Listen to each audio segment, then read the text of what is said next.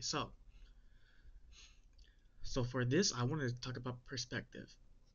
Now, perspective is what we see and experience, and that is the truth to us. What we see is our reality, and that reality comes from our own perspective. The example I chose shows two men having differing answers to what they are seeing.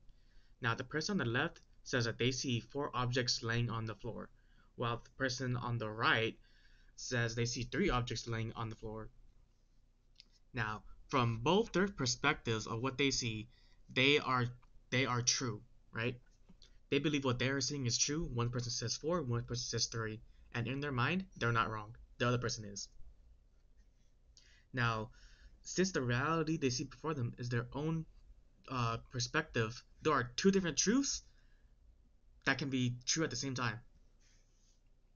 Now, here's a here's a third perspective, right? So when looking at the comic or the little image that I put down, you see each person there has their own perspective. Now we have our own perspective as well. And from what we can see from our own perspective is that we can see both four uh, items on the ground and three items on the ground simultaneously.